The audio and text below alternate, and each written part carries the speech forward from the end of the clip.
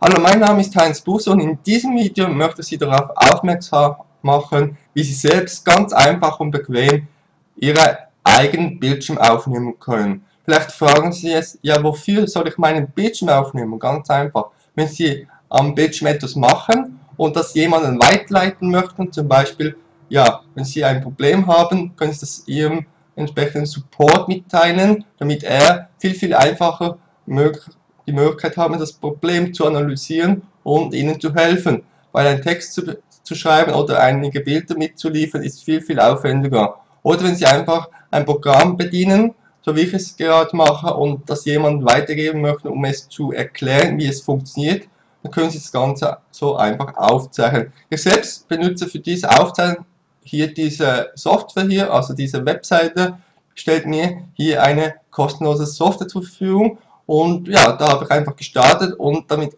ja, aufgenommen. Und Sie sehen jetzt hier, das ist Englisch. Wenn Sie diesen Webbrowser benutzen, hier geht es um Google Chrome, müssen Sie ihn einfach installieren. Dann haben Sie die Möglichkeit, hier in der Einstellung, müssen Sie hier in die Einstellung gehen, rechts oben, dann gehen Sie auf weitere Tools, dann öffnet sich hier die Möglichkeit Erweiterungen, klicken Sie dort drauf, dann werden Sie zu den Erweiterungen weitergeleitet und dann können Sie da nach unten gehen und haben hier die Möglichkeit, den Google Übersetzer zu aktivieren. Sie sehen, ich habe diesen hier schon aktiviert.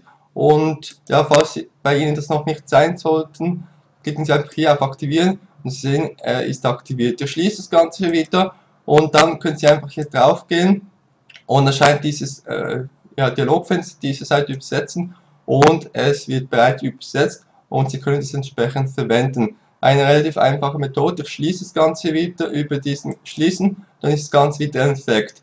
Nebst dem, dass Sie das Ganze einfach so aufzeichnen, können Sie natürlich mit Ihrer Stimme arbeiten. Ich selbst nutze jetzt für dieses Video hier die Logitech Pro 9000 und es gibt hier einige Bilder dazu. Sie sehen hier, so sieht das Ganze aus. Das ist diese Kamera hier, die ich aktuell dafür verwende. Und ich habe da noch eine weitere, die ich im Einsatz habe. Hier geht es um die Logitech C920 USB, HD Pro Webcam und ja, hier könnt ihr das Ganze dann entsprechend ja, anschauen und ähm, ansehen, wie das Ganze aufgebaut ist. Und ja, dann kann, können Sie das Ganze einfach ansehen. Und das Ganze können Sie dann auf der Webseite von YouTube, ich habe hier diese Website aufgerufen. Und hier können Sie das Ganze völlig kostenlos hochladen. Und ja, aufgrund dessen sehen Sie jetzt auch dieses Video, dass Sie einfach über diesen Kanal das nutzen, respektive ich habe es auf diese Webseite hochgeladen, völlig unverbindlich. Da kann jeder ein entsprechendes Konto einrichten, indem Sie da sich einfach anmelden und schon geht es los. Es gibt natürlich da weitere Möglichkeiten, um solche Bildschirmvideos aufzunehmen. Ich habe hier eingeblendet zum Beispiel Cam Studio. Sie sehen hier eine sehr einfache Software, das ist die Arbeitsoberfläche von dieser Software und Sie können damit sehr einfach und bequem arbeiten. Müssen einfach das herunterladen und dann haben Sie hier diese Arbeitsoberfläche und das ist hier zum Starten und dann, wenn es gestartet ist, können Sie das Ganze hier wieder stoppen und ja, dann ist das, steht Ihnen es zur Verfügung.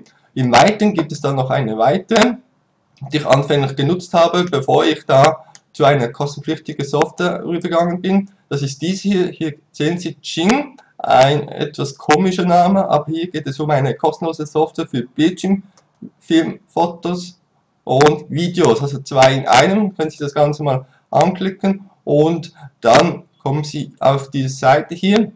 Hier sehen Sie, das ist von der Firma TechSmith Jing und auch dies habe ich da im Einsatz. Ich gehe ganz nach oben und habe das hier ähm, entsprechend platziert und wenn ich da drauf gehe, habe ich ein Capture, wie Sie sehen, und das ist die Bezeichnung, um einfache Videos aufnehmen zu können. Und ist ebenso eine sehr praktische und einfache Sache. Und ja, man kann es sehr gut benutzen. Also ich nutze es, wie Sie sehen, und bin damit sehr zufrieden.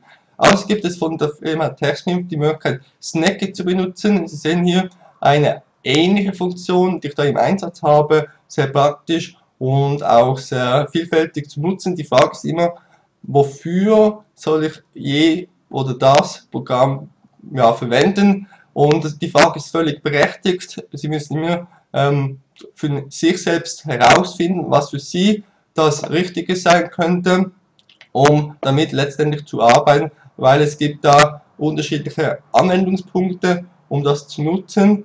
Ich habe auch ganz am Anfang ähm, ganz einfach angefangen und dann habe ich einfach für mich äh, letztendlich ähm, das teuerste gekauft, was es am Markt gibt, das ist Camtasia und die anderen Programme habe ich alle auch ausprobiert und einfach mir festgestellt, was passt am besten. Und so ist das Ganze entstanden. Und ja, wenn Sie selbst ähm, sagen, Sie haben schon eins im Einsatz, ist es gut, dann können Sie ja einfach mal die anderen versuchen. Vielleicht ist eines von den neueren, den ich jetzt erwähnt habe, auch etwas, was Sie ähm, anwenden könnten. Oder Sie haben jetzt etwas im Einsatz, was ich noch nicht kenne, das kann ja auch sein. Dann können Sie das ja kurz unterhalb von diesem Video erwähnen, weil so kann man sich ja gegenseitig ja in diesem Bereich ähm, ergänzen und man lernt Neues dazu und das ist auch der Sinn der Sache, dass man einfach ja, Neues lernt und seinen eigenen Horizont erweitert. Hier haben Sie jetzt einfach eine Möglichkeit gesehen,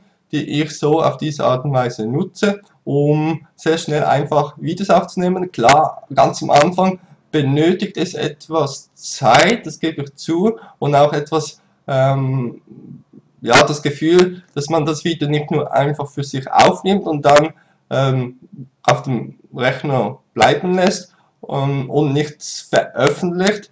Das habe ich am Anfang auch so gemacht. Irgendwann kommt dann der Zeitpunkt, da man einfach das Gefühl hat, so, und jetzt habe ich den Mut und ja, gehe mit dem online, weil so kann ich möglicherweise anderen Menschen auf diese Art und Weise helfen, weil über die Website von YouTube kann ich natürlich schauen, wonach Menschen suchen und dafür entsprechende Videos ähm, ja, aufnehmen und aufgrund dessen, dass ähm, bei der Software die Möglichkeit besteht, sofern ich diese Software auch einsetze, erweitert mit der Funktion, dass ich mich einblende, also wie Sie hier sehen, lasse ich mich ja da einblenden. Und mit solch einer Software funktioniert das sehr gut. Und Sie haben dann auch ein gewisses Vertrauen aufgebaut, weil sie sehen ja jetzt mich selbst und dass ich ja ihnen am Bildschirm etwas zeige, was wertvoll ist, was sie anwenden können, was ich selbst äh, fast täglich anwende.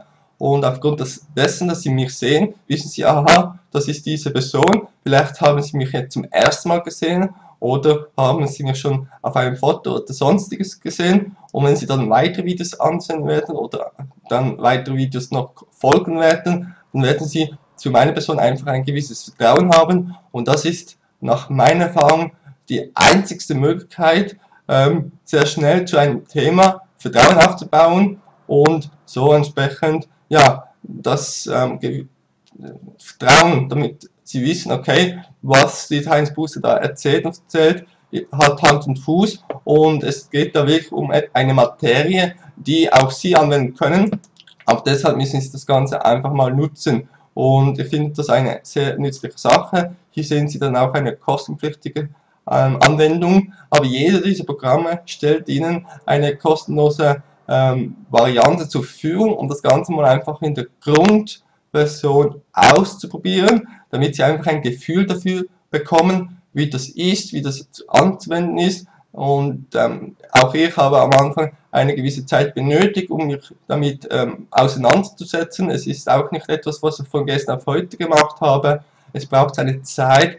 Ähm, ja, wenn Sie damit einmal ein paar Videos aufgenommen haben, werden Sie für sich entdecken, ob das etwas für Sie sein könnte oder auch nicht. Weil es ist gut möglich, dass Sie das wollen, aber, aber es ist ja nicht das, wofür sie ja sind, wo sie sagen, im Prinzip wollte ich es, aber ich kann es mir nicht vorstellen, solche Videos aufzunehmen, weil sie einfach nicht der Typ dafür sind und das ist auch okay, weil nicht jeder traut sich sowas zu und sowas zu machen. Vielleicht einfach im internen Bereich, dass sie einfach für sich ein Video aufnehmen, wenn sie ein Problem haben und am Anbieter weiterleiten, wenn sie ähm, eventuelle Pro Probleme mit ihrer Software haben oder einfach ähm, unter äh, Kollegen, Arbeitskollegen weiterleiten, das ist immer eine gute Sache. Es muss ja nicht immer sofort alles an die Öffentlichkeit, äh, ja, das ist äh, einfach noch als ergänzend erwähnt, damit Sie einfach bewusst sind, okay, Videos sind gut und recht, aber müssen nicht direkt alle auf YouTube. Sie können es schon auf YouTube hochladen. Es gibt bei YouTube die Funktion, dass Sie Videos so einstellen können, dass sie nicht gefunden werden online und das ist eine Einstellungsmöglichkeit bei YouTube und diese äh, müssen Sie einfach ähm, manuell einstellen, damit es nicht gelistet ist und dadurch ist es, äh, ja, sind die Videos für Außenstände, diejenigen, die danach suchen, nicht auffindbar. Und ich finde das eine praktische Sache, vor allem im Anfangsbereich.